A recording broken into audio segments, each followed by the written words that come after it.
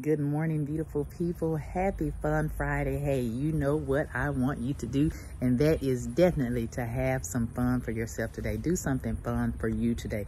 Take some time out for you today to love on yourself. Hey, there's nothing wrong with that personal me time because we all need that me time sometime to rejuvenate our minds, our souls, our spirits, to just love on self.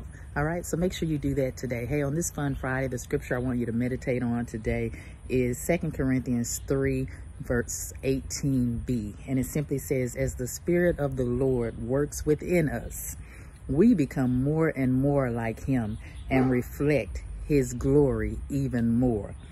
So, I was created to become like Christ.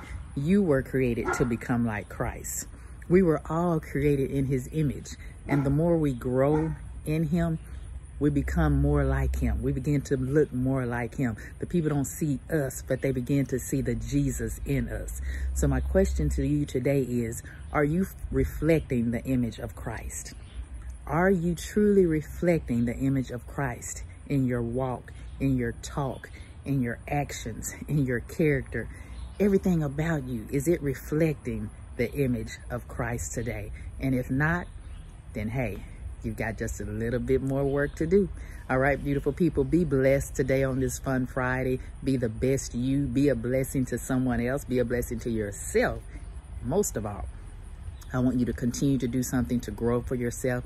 And remember, every day is not going to be perfect, but it can be positive on purpose. So I want you to be intentional about finding the positive in every day, no matter what it is. Find the positive. Every negative has a positive. You just have to dig just a little bit deeper to find it sometimes. So make sure you're digging for the positive today and staying away from those negative vibes. All right, beautiful people, I love you. God loves you more. And you know I want you to keep going because you've got this.